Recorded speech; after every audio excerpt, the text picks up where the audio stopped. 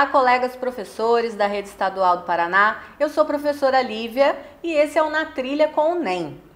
Hoje nós vamos conhecer uma trilha de aprendizagem chamada Programação 1, que faz parte do itinerário integrado de matemática e da área de ciências da natureza. E para falar um pouquinho sobre os aspectos gerais dessa trilha, eu tenho aqui um convidado que se chama Marcelo Paludeto e ele é da Alura. Seja bem-vindo, Marcelo. Oi, gente, muito legal estar aqui, prazerzão. Então, já vou direto ao ponto, né, para saber um pouquinho dessa trilha de programação 1. Eu queria que você falasse um pouquinho, Marcelo, sobre o objetivo, então, dessa trilha.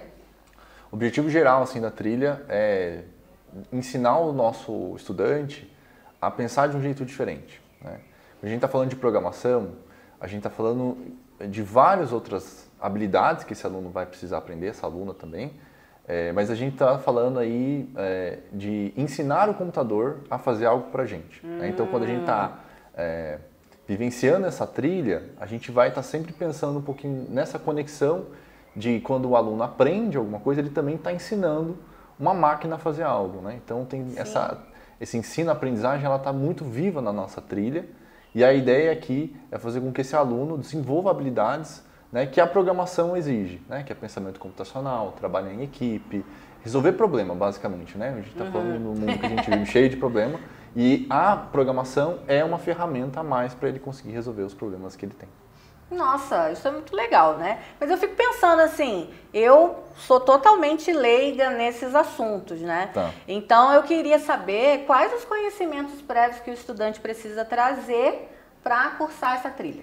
Bom, o nosso aluno e aluna é, da segunda série, ele já passou por pensamento computacional na primeira série. Ah, é verdade. Uhum. Então, ele já tem ali um conhecimento prévio. Então, boa parte das dificuldades que os nossos professores e professoras têm é, com o começo, entender um pouquinho daquele contexto da trilha, porque foi algo novo né, uhum. né, para eles também, o pensamento computacional, é, a gente vai dar sequência né, dos encaminhamentos metodológicos vão ser muito parecidos com o pensamento computacional. Então, o nosso aluno ele não vai sentir uma grande diferença, sim, é, mas a gente vai aprofundar o que a gente vivenciou hum. em pensamento computacional. Ah, tá. Então o estudante não chega igual a mim sem saber nada, né? Ele já chega não. com algum conhecimento ali.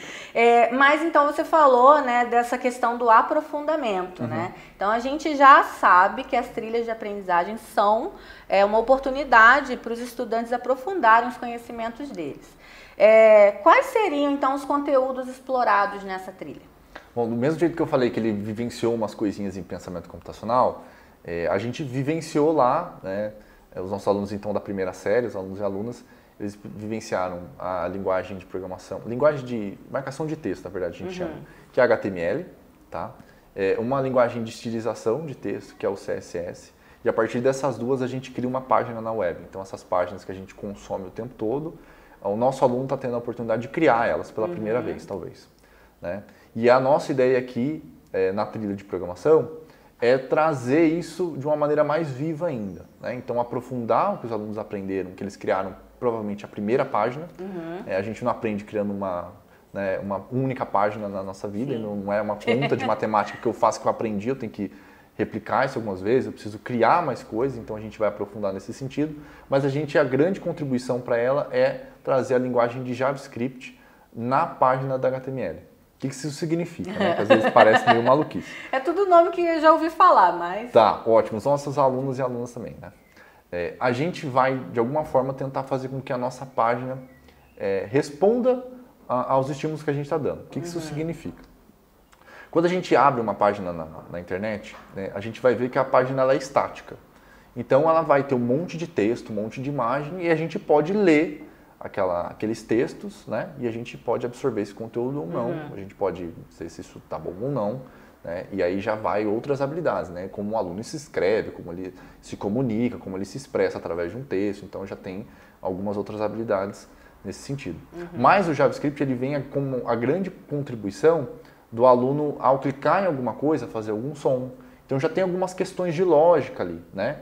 E a gente vai explorar muito isso nessa trilha de programação. Nossa, é bem interessante, ah. assim, né? É, mas para os nossos professores, né? é, se prepararem para o desenvolvimento dessa trilha, quais seriam os materiais de apoio é, que eles teriam para isso? Tá. É, a gente faz muita coisa, tá? Hum. é, sim, primeira coisa que a gente faz é disponibilizar para eles é, o material do itinerário, né? Então uhum. tem aquele uhum. documento lá, a gente conseguiu desenvolver aquilo e aquilo que vai nortear a gente para todo o nosso plano letivo. Então já tem um material, né, que é um documento ali bem robusto, com muitas Sim. contribuições, enfim.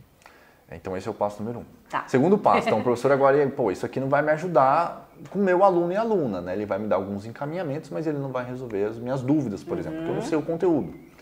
A gente tem formadores em ação. Então a gente tem um uhum. grupo de estudos, de formação, que está acontecendo já esse ano. Ano que vem vai expandir mais ainda. Então a gente tem esse encaminhamento dos formadores. Então, professor, professora que quer fazer, é, quer aprender uma nova habilidade, até mesmo aquele que tem curiosidade de saber, pô, será que eu vou é, pegar isso no futuro? Será que eu, eu desejo essa componente? Será que eu, o que, que acontece lá? Né? Então tem esse encaminhamento também. Ele pode se descobrir lá e a gente tem informação para isso. Além disso, a gente tem lives, então a gente tem vários momentos. Esse ano de 2022 a gente fez uma série de lives formativas. Ano que vem a gente também vai dar continuidade nisso, então eles uhum. têm esse material. É, e a gente tem os materiais do RCO. Né? Então ah, lá a gente tem os slides, é, tem os listas de exercício. É, a gente tem os vídeos lá que eu gravo também, eu tento passar um pouquinho da ideia da concepção do que seria aquela aula. Né? Então eu vivenciei muitas aulas daquelas para dizer uhum. aqueles vídeos. E a gente, assim, as cerezas do bolo e talvez o principal, né, é a própria plataforma. Porque a plataforma ela tem lá, é, através de vídeos, instrutores, instrutoras, é, dizendo passo a passo do que está sendo aquela aula. Uhum. Então, é, tem cursos que a gente escreve o código junto. Então, o nosso aluno e aluna ele consegue ver exatamente e tentar replicar para ele conseguir criar algo mais para frente que ele deseja. Então, nosso professor professora também tem esse acesso a esse material para conseguir aprender essa habilidade. Hum, então trouxe excelentes notícias para nós, né, professores. Então eu queria agora, né, que você falasse um pouquinho, Marcelo, é, de algo que é uma característica do novo ensino médio, que é essa, essa possibilidade de integração entre os componentes curriculares. Isso acontece na trilha de programação também? Sim, eu, eu acho que talvez seja a trilha que mais contribui, hum, pelo menos a hum, puxar a sardinha para o meu lado. Porque assim, é, quando a gente está ensinando nosso aluno e aluna a programar, né, essa habilidade de resolver problemas, de conseguir se expressar através de uma máquina, de conversar com.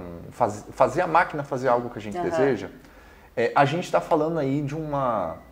É, de algo que pode ser conectado com qualquer outro qualquer outra habilidade, qualquer outra trilha, qualquer outro componente, uhum. né? Porque através, por exemplo, de uma página na web, esse aluno consegue se expressar.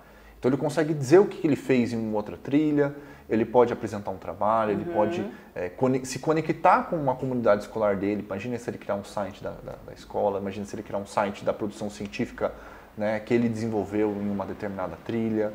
É, o processo que ele fez para conseguir gerar o um resultado, então qual foi a investigação, uhum. qual é a metodologia que ele usou. Ele pode documentar tudo isso numa página, é, isso está publicado na internet, então todo mundo consegue ver. É, então fica de fácil acesso e a gente, todo mundo consegue compartilhar. Isso aqui vira realmente, o estado inteiro vira uma escola, né? Porque todo uhum. mundo vai conseguir se comunicar, conversar e ver o que está sendo feito por todas as outras trilhas. Então, é, dá para ver que você gosta bastante, ah. né, do assunto e consegue enxergar essas várias possibilidades de integração. Acredito que os nossos colegas também vão conseguir enxergar, né, uhum. essas possibilidades da trilha de programação se integrar, então, com as outras. É muito legal, Marcelo, né, mas nós vamos deixar a continuidade, né, dessa trilha para outros encontros, né, para não ficar tudo hoje. Então, hoje eu quero agradecer o Marcelo, né, por ter participado, deixar o convite para o nosso próximo encontro, tá bom? Tá bom, bora lá.